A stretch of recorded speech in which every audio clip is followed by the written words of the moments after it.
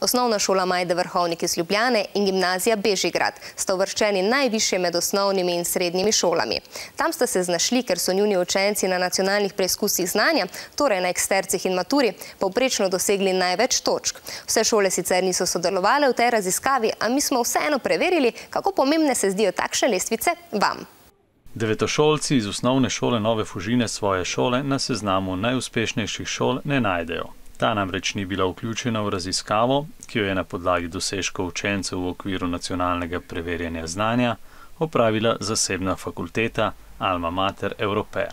Raziskava je kljub temu pritegnila njihovo pozornost, saj se bodo morali kmalo upisati na srednjo šolo.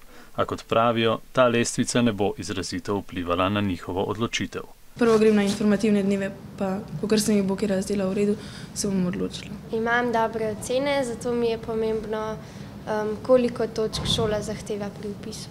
Meni osebno ta lestvica nič ne pomeni, zato ker to so drugi ljudje. Omenjena lestvica pa je tudi med strokovnjaki dvignila kar nekaj prahu. Izvajalci raziskave priznavajo, da je nepopolna, saj ne zajema vseh osnovnih in srednjih šol. Kritiki pa ob tem povdarjajo predvsem to, da o kakovosti šole ne govorijo le povprečne ocene, temveč tudi odnosi med učitelji in učenci ter denimo ponujene obšolske dejavnosti. Tega pa se, kot kaže, zavedajo tudi bodoči srednješolci.